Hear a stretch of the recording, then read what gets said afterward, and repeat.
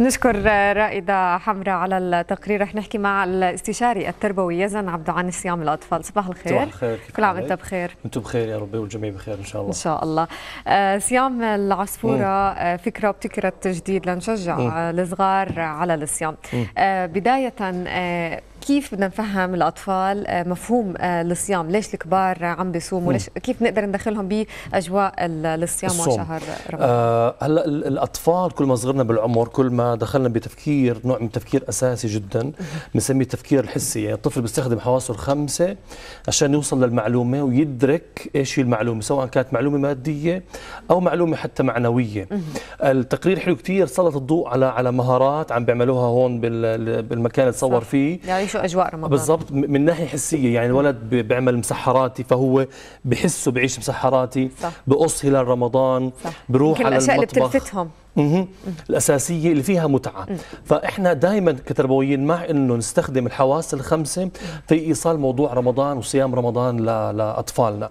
في برضه نشاطات إحنا ممكن نعملها في البيت زي ما شفنا بالتقرير وهذا شيء ممتع ما دون سن الست سبع ثمان سنوات ودون ممكن نستخدمها بصورة فاعلة لكنها أكثر فاعلية خمس سنوات فما دون.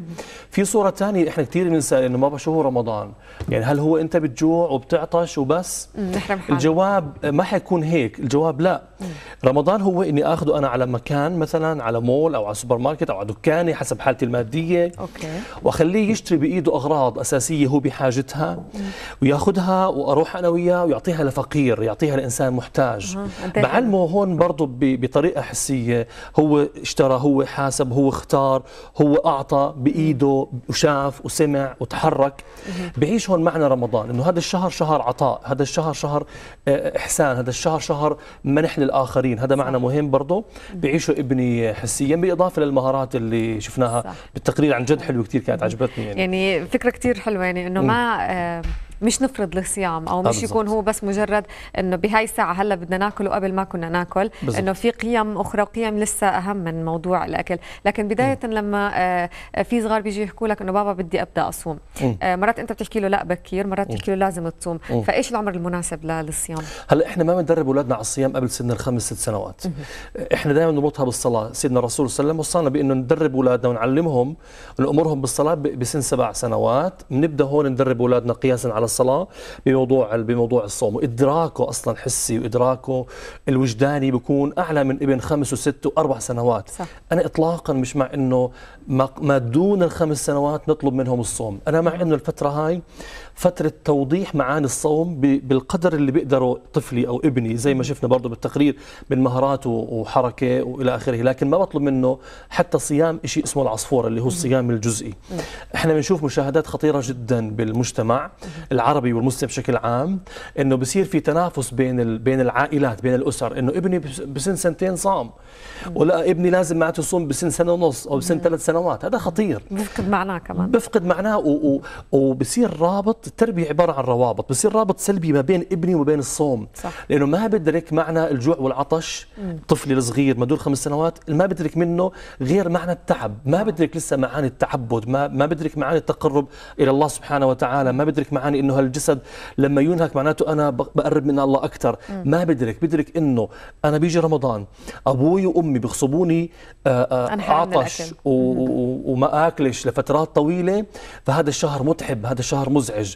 طبعا انعكاسه وين؟ انعكاسه لما يصير الولد بسن 13 و15 و17 وأكثر وأكبر ببطل يصوم. لأنه لأنه هذا الشهر معناه معناه أليم معناه مؤلم ارتبط عنده هو طفل صغير. والمستقبل بصير في حالة من الكره. للشهر ما هذا اللي عم بيصير وبصير يتحدى أمه وأبوه وكرهه للشهر بإنه أنا ما بدي أصوم. صحيح. وبذكر هون بإنه أصلا حتى في ديننا حتى شرعا الصيام لا يكلف به الإنسان قبل سن التكليف. يعني قبل سن 15 سنة يعني العمر سنتين وثلاثة وخمسة و10 و12 و13 هو غير مكلف. بالصوم. أه. فترة التدريب بتبدأ بسن سبع سنوات أه. برضه تدريب تدريجي حتى نوصل معاه لسن التكليف بكون قادر قادر يصوم. يعني 16 سنة. 15 16 سنة يعني أو سن البلوغ إحنا بنسميه. أنا بيعجبني رأي أبو حنيفة بأنه سن التكليف 15 سنة بيبدأ بسموه سن التمييز بيبدأ الإنسان يدرك ويستوعب أكثر للمعاني اللي ممكن يعملها بحياته. هلا صيام العصفورة آه، مش مش شيء متفق عليه. يعني كل كل طفل أو كل أهل كيف شايفين قدرات طفلهم آه، يطبق. أنت ك ك يعني خبير في مجال النفسي للأطفال زي ما حكيت والحسي.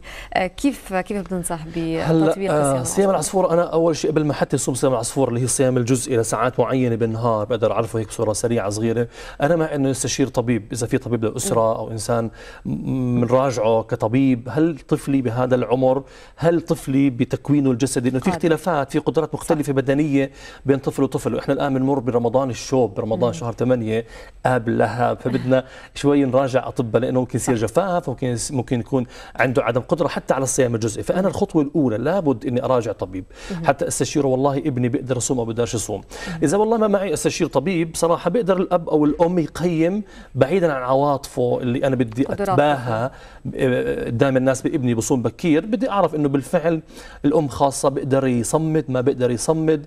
فبدي أقيم أول شيء وضعه البدني وضعه الصحي إذا بيقدر أو بيقدرش. الآن إذا كان الجواب بيقدر وسنه تجاوز سن السبع سنوات ببدأ أدربه جزئيا على موضوع الصوم. بإني بختار له من بداية الشهر لو قسمته خمس أيام خمس أيام خمس أيام يعني بيطلع معي ست مجموعات بالنهاية.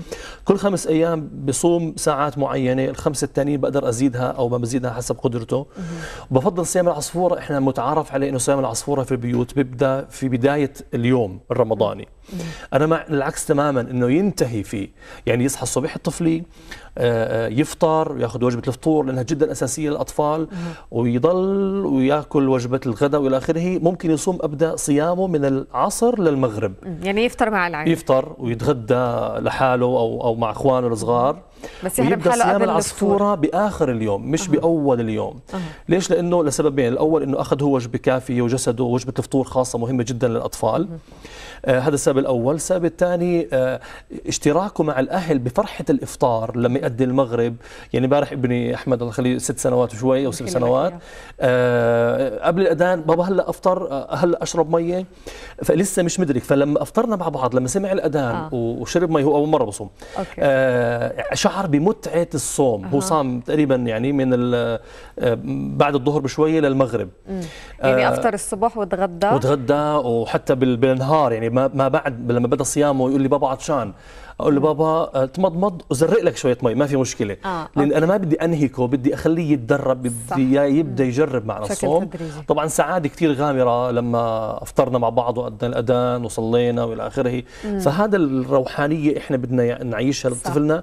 ما بدنا نتعبه ما بدنا ننتقم منه ما بدنا نفتخر فيه قدام الناس على حساب قدراته وعلى حساب ارتباطه برمضان وعلى حساب صحته. صح. وهو بصير عنده يمكن تقييم ذاتي. يعني هلأ آه، طفلك شوي شوي إذا حس إنه قادر يصوم أكثر بيزيد ساعات مش بالزبط. يفرض عليه يعني لو انت اجيت حكيت له لا ما تشرب المي ما تتمضمض شوف قد إيه بصير نوع من النفور. الكره لا لا للصيام أيضا في كثير نصائح حابين نوجهها للاهل بهالصيام إنه آه، في كثير مظاهر عصبية. يعني شهر صح. رمضان في بعض الأشخاص بيربطوه إنه شهر عصبية و... وكل واحد بيكون للأسف مم. مش مسيطر على أعصابه سواء مم. من الأهل من كأب أو كأم عالم الكبار. هلأ شوفي الأهل ثلاث أنا بصنفه ثلاث أصناف في رمضان. هم ثلاث أصناف خطيرة جدا. الصنف الأول هو الصنف اللي تفضلت فيه بصوم تمام؟ لكن ما بيعمل أي احترام لرمضان لا في قرآن ولا في صلاة ولا في ما في أي نوع وفي بالعكس آه، عصبيه وفي عنف. فالولد لما يشوف أبوه معصب آه، غير عن الأشهر الثاني برمضان لما يشوف عفوا بين قوسين اللغة العمانية أمه بتتبهدل من أبوه عشان أبوه صايم والأم بتبهدله عشان هالأم صايمة بيبدأ يعمل روابط سلبية بين معاني آه، رمضان وبين المعاني الحقيقيه لرمضان. صح. الصيام عبارة عن امتناع عن طعام وشراب دون دون عيش بروحانية عالية وسلوك رائع. راقي هذا برضه بربي اولادنا على عدم احترام رمضان على إنه رمضان عبارة عن جوع وعطش بس زي ما هو عند كثير من الناس. هذا صنف خطير. الصنف الثاني في عندنا أهالي آه، بيجبروا أولادهم على الصوم حكينا عنه. هذا خطير جدا لأنه عم بعمل آه، روابط سلبية بين طفلي وبين رمضان وهذا هذا حتى في ديننا بتوقع إنه حرام لأنه العبادة عمرها ما كانت بالفرض والإجبار أو إنها غير مناسبة للعمر. آه، والصنف الثالث من الناس اللي هو ابنه حاب يصوم يعني بصير ابنه عمره 10 سنوات و12 سنة. الأم خاصة بتخاف عليه رمضان شو ماما؟ لا إفطر غصبا عنك. مم. لا بما إنه قادر وبما إنه حابب وبما إنه جسده بيستحمل ليش ما نبدأ ندربه على الصوم؟ مم. فهدول ثلاث أشكال خطيرة من الأهل. أول شيء اللي بيستهتروا برمضان صح. وبعطوا أخلاق سيئة برمضان الصنف الثاني اللي بيجبر والصنف الثالث اللي بيجبر يصوم والصنف الثالث بيجبر أولاده إنهم يفطروا برمضان مع إنه قادر مع إنه حاب يصوم. هدول ثلاث أصناف نوجه لهم إنه يا جماعة رمضان مش هيك رمضان بالعكس شهر له انعكاس سلوكي على علينا وعلى أطفالنا لابد إن نستغله ونستثمر صح. أيضا يمكن من الأشياء اللي ممكن تشجعهم على الصيام إنه زي ما حكينا ما نضلنا نايمين ما نضلنا قاعدين على التلفزيون يكون نعم. في نوع من التعبد نضفي آه، أجواء مختلفة على حياتنا هذا هذا لابد نركز عليه. موضوع سلوك الأب والأم برمضان أمام الأبناء يعني هذا لو قدرنا نتقنه هذا أهم من من من إن ندربهم على الانقطاع عن الطعام والشراب. لازم يشوفوا سلوك مميز لازم يشوفوا روحانية مميزة لازم يشوفوا شيء اسمه تربية قلبية مميزة لازم يشوف تحسن في العلاقات مميز إنه هذا الشهر كثير حلو حتى إنه بالفعل يكون إيجابي أه. شهر طب بعد عمر ال 15 أو 16 آه، للأطفال أو للشباب تقريبا اللي لسه مش كثير عندهم حب للصيام كيف ممكن نشجعهم؟ هلأ آه، هاي سؤال خطير. إنه في الأهل بيغفلوا عن الموضوع فجأة بتلاقي الأهل بيلتزموا هذا شيء رائع. فابنها صار عمره 14 15 18 سنة مثلا لسه ما عم بصوم أو ما ما عمره صام فهي بدها اياه الآن يصوم. أنا مع انه إنه انه عنده إدراك وقدرة عقلية إنه يفهم شو معنى العبادة لكن لكن من غير إجبار أه. أنا حتى إنه حتى بالعمر حتى بعمر 15 حتى بعمر حتى بعمر التكليف م. إذا كان ابني أو بنتي ما بصوموا فأنا مع إنه آه، ما نصطدم معهم الاصطدام بهذا العمر بالذات بولد عندهم ردة فعل سلبية وبيفطروا غصبا عني أو بيفطروا أمامي أو بيفطروا خلفي لأنه فمع أنه أكون لهم معنى تعبدي أشتغل معهم بالصلاة أشتغل معهم بحب الله أشتغل معهم بموضوع العلاقات والأصدقاء قبل رمضان بدي بأشهر. بس مش إني فجأة برمضان أكون مقطوع عنهم بالعلاقة مع الله والعبادة وكذا وبرمضان يلا يا بدنا نصوم ولازم نصوم وأنا أصلا بحياتي ما منهم الصوم. أنا مع أنه نترك هذا رمضان بهمش فترة. أوكي. بعد رمضان أو برمضان نشتغل معهم نقرب منهم أكثر نحبهم يحبونا إنه مش فجاه انه هلا هذا الشهر بدنا نحب بعضنا نتواصل نسحبهم على رمضان نسحبهم إلنا إحنا قبل ما نسحبهم على رمضان. لما يشوفونا أصدقاء لهم سواء بالصلاة أو برمضان أو بأي موضوع ثاني بموضوع موضوعات العبادة. آه بس أكون أنا صديق لهم بجذبه للي بدي إياه. أما لما يعتبرني بقوسين عدو أو يعتبرني أم متسلطة وهو مراهق وهو يافع أو أب متسلط راح يتعمد يتسلط علي ويرفض القرارات اللي أنا أو ال ال ال الأشياء اللي أنا بحبها. يتعمد يعمل عكسها تماما. بس قبول عدم صيامهم؟ هل يعتبر مثلا دعم على سلوك خاطئ ولا بيكون لا لابد نظهر عدم رضانا عن آه. إفطارهم أو عدم عدم رضانا عن عدم صيامهم. آه. إنه أنا آه أنت كشخص أنت كذات ابني محبوب بالنسبة لي لكن هذا السلوك لو إفطارك برمضان أنا يعني غير راضي عنه أنا ما بحبه. أنا بحب تكون إنسان مميز بعلاقتك مع الآخرين وبعلاقتك معي وبعلاقتك مع ربك بالصوم وبالصلاة. بدي أبين هاي المعاني. لكن ذواتهم ما بدي أهينها ما بدي أحقرها عشان هو ما بصوم ذات الإبن مهما عمل من سلوكيات سلبية الذات عالم مقدس تماما بالتربية. لكن من حقي أعلق على السلوك أوضح إنه السلوك هذا صح أو هذا خطأ. وإذا كان خطأ بعبر عن مشاعري. آه بس بدون عنف بدون بدون عصبية عن مشاعر السلبية تجاه سلوكه السلبي. آه نصائحك أخيرة للأطفال ولا آه، أهلهم لا نشجعهم أو نختصر مثلا رمضان بكلمة آه بكلمة كثير مهم للأطفال إنه نعتبر نفهمهم رمضان أكثر من نجوعهم ونعطشهم كأطفال صح. لابد نستخدم الحواس الخمسة في تفهيمهم إيش هو رمضان. آه, آه، لابد يصوموا صيام العصفورة ما بعد سن السبع سنوات مش قبل هيك. أرجوكم لا تتفاخروا على حساب أبنائكم أمام الناس بأنه ابني بصوم بعمر ثلاث وأربع سنوات. لا تتفاخروا. آه يعني الله سبحانه وتعالى ما طلب منا نصوم بهذا العمر. بالعكس ابدوا قربوا رمضان واجذبوا رمضان. خلوا رمضان ممتع بالنسبة لأطفالكم بأساليب لطيفة بأساليب ضمن قدراتهم البدنية والفهم تبعهم. آه والسهر كيف؟ في هلا هلا موضوع موضوع, السهر أنا عندي في مشكلة ببيتي آه فموضوع السهر أنا مع إنه يعني بالعطلة وبرمضان انه إنه ينزاد شوي آه. تمام؟ لكن ما ينزاد كثير يعني ممكن يعني نسمح لهم اطفالنا يعني يعني بصراحة أنا نفسي أوصل مع أولادي لحد الساعة 10 11 أوكي. بس مرات بيزيدوها أكثر.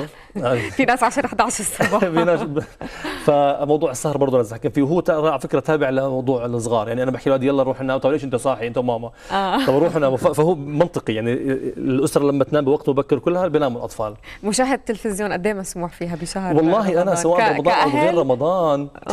برضه هي مشكلة. يعني إحنا عم نحكي عن عن ساعة صدقا. لأنه يعني كل ساعة تلف... ومقسمة. مم. كل ساعة تلفزيونية بدها أربع ساعات نشاط بدني حركة ونطنطة عشان يفرغ الكهرباء اللي الساكنه اللي دخلته من التلفزيون آه. خاصة الأطفال فلازم يكون في مسافة يعني ساعة ساعة ونص عرفتي؟ وفي عندك كمبيوتر عندك PlayStation بس إن شاء الله. فيعني آه موضوع صعب مش سهل حقيقة. أكيد رح نكمل مواضيع رمضان وأنا نصائحنا للأهل والأطفال والشباب شكرا لك يزن عبدو مكملين بفقراتنا أكيد في دنيا يا دنيا للساعه 12 تقريبا. خليكم معنا.